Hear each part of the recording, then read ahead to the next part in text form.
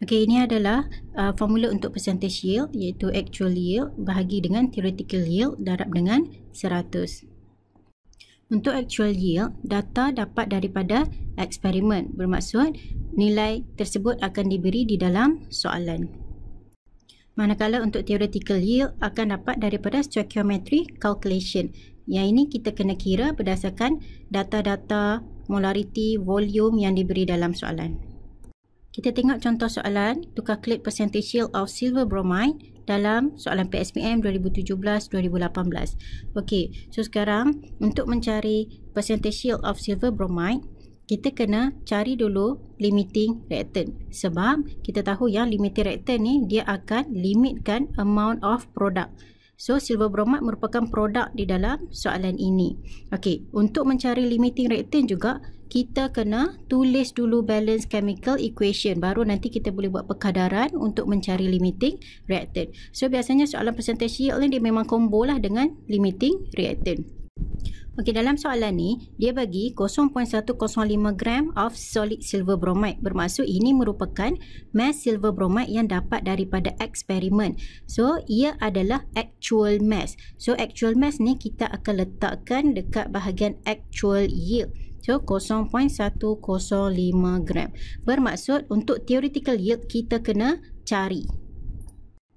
So, mass AGBR untuk yang kita cari dalam theoretical yield daripada formula mol AGBR darab dengan molar mass AGBR. Okey, untuk mendapatkan mol AGBR ni, kita kena buat perkadaran dengan mol limiting reactant. Sebab mol limiting reactant inilah yang akan menentukan berapa banyak produk yang terhasil. Untuk mencari mol limited reactant, kita kena tulis dulu balance chemical equation.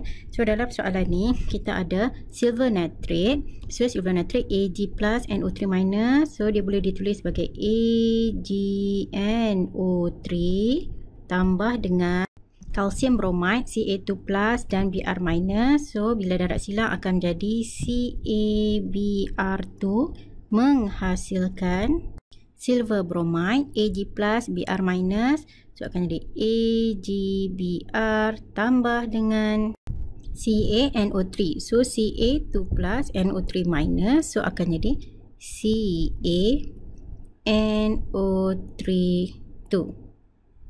Sekarang kita balance pula. Since BR ni ada dua, so kita letak dua dekat sini untuk dapatkan dua BR.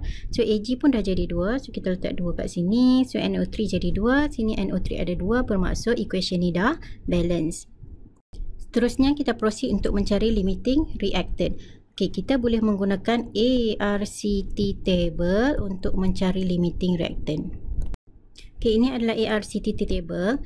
So, cara menggunakan ARCT table ni ada dalam video yang saya buat sebelum ni. So, awak boleh rujuk. Cuma sekarang ni kita nak mencari mol limited reactant untuk soalan AgNO3 dengan CaBr2. So, kita letakkan dulu. Sini adalah reactant AgNO3 dan juga CaBr2. Dan kita kena mencari kedua-dua number of mol untuk kedua-dua reactant untuk dapat markah. So, kita masuk dalam ni. Kita dapat 0.0125 mol untuk kedua kedua reaktan sebab kita diberi molarity dan juga volume di dalam soalan.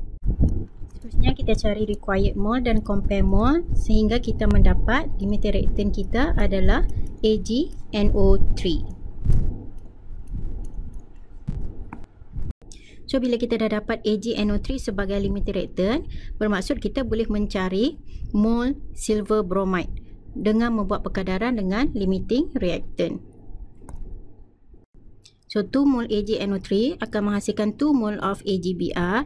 Bermaksud kalau kita ada 0.00125 mol AgNO3 juga akan menghasilkan 0.00125 mol AgBr. So kat sini kita dah dapat dah mol AgBr. So sekarang ni bila kita darab dengan molar mass AgBr, kita akan dapat 0.2348 gram. Kita masukkan dalam formula percentage yield of AGBR. So, kita dapatlah 44.72%.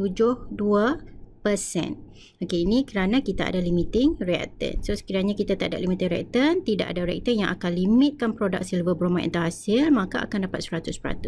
Disebabkan kita ada limiting reactant, sebab itulah produk terhasil hanya sebanyak 44.72%. So, inilah caranya mencari percentage yield.